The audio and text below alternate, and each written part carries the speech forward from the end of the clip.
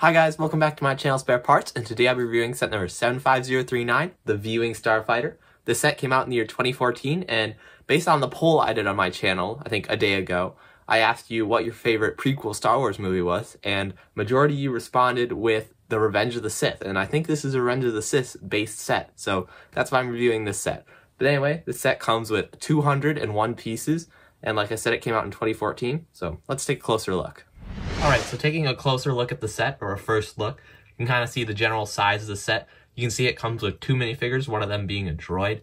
And you can kind of see it's not like a very popular Star Wars vehicle. I'm not really sure if it's in like a scene at all, but I don't know. It feels like a set that was in Revenge of the Sith. I don't know.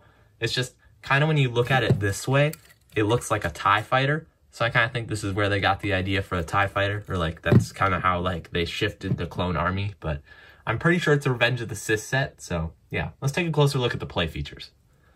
Alright, so starting off with play features here, we'll go through the minifigure play features first. So starting off, you can put your minifigure in the cockpit. So you just open up this area right here.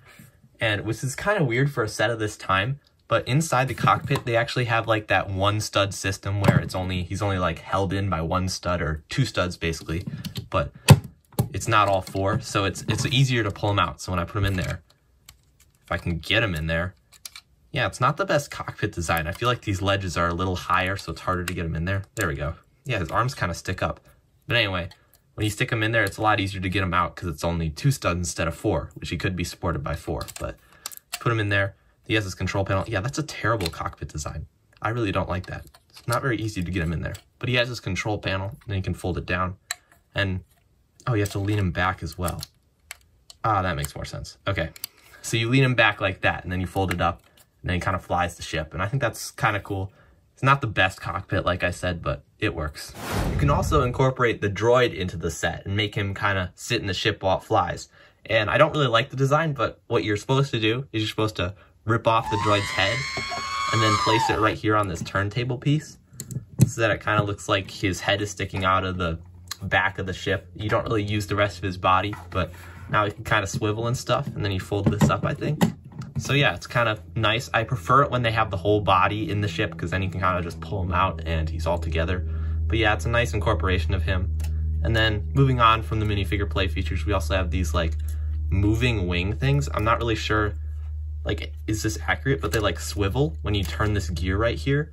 And I don't know why they do that. I think the one only reason they do that is for landing. So when it kind of folds down like this, it has some more landing gear. And speaking of landing gear, there's also this landing gear piece right here that folds out like this. It's not the best landing gear, but it certainly supports it. But if you like put pressure on it, it just breaks. But if you were a display person, that would definitely work well.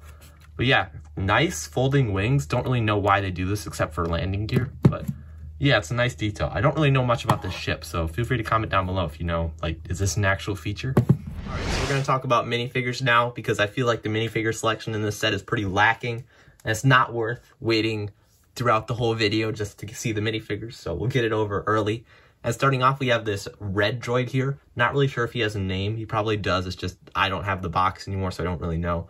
I could look it up, but there's like a million different red droids. But He's just kind of a basic red droid. He doesn't have any back printing because this was 2014, way before they do that. I think like the back printing on droids is like a 2023, 2022 thing.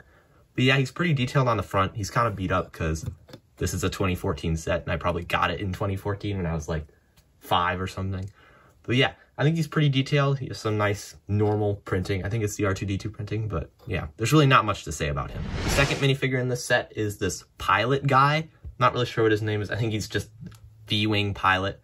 It, I don't even know why this is called a V-wing because it's not really shaped like a V. Like maybe, maybe from like, I don't know, top down. But yeah, this is the V-wing pilot guy. He looks kind of weird. I always thought like, what's up with the face? Like if you take off his helmet, his face looks really weird, like kind of creepy. I always was a little scared of it. Doesn't really look like a clone face, but yeah, he doesn't have a double-sided head because all you see through the helmet is this. And the helmet's a nice print. I think it might be exclusive. I think they probably use this for some Rebel troopers, but it's pretty detailed. His torso's not that detailed. I mean, I guess the torso's kind of detailed, but he has no leg printing, which is kind of unfortunate.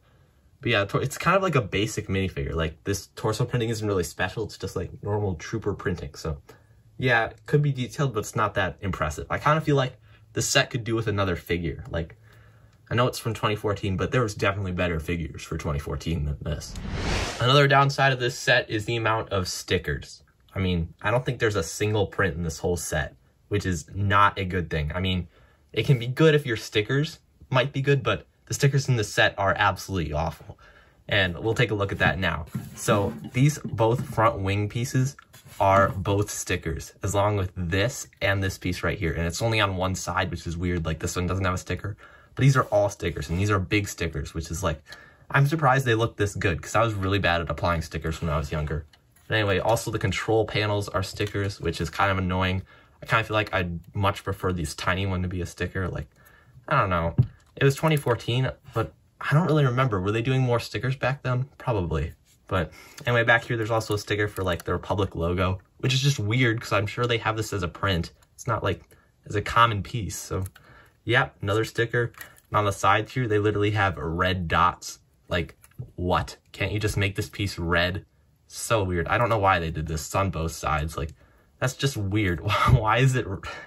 I don't get it. And also, I did a terrible job at applying this one. Look at how bad that is. But yeah, lots of stickers on the set, no prints at all, which is just really unfortunate and annoying. And I feel like the stickers, like, come on, Lego. Some of these should be prints. Like, the big one should be prints in that Republic logo. So yeah, kind of disappointed. All right, so I would talk about accuracy and like its looks, but I don't have anything to base it on because I don't really know what it's from. And if I did look it up, I'd always have like, I've seen the Lego model before I've seen the real thing. So I'll always like think of the Lego model as like what it's supposed to look like. You know, you know what I'm saying? I don't know if you know what I'm saying, but I just don't know what to compare it to because I don't know what it's from. It, it looks like a vehicle they would use, like and I always thought it was kind of cool how it looks like a TIE fighter from the sides, just like the design and stuff, but yeah, don't know what to compare it to. I just now realized that the set also has, wait for it, spring-loaded shooters. Hooray! Yeah, they're pretty basic. You just push, press down in the back here, and they shoot off.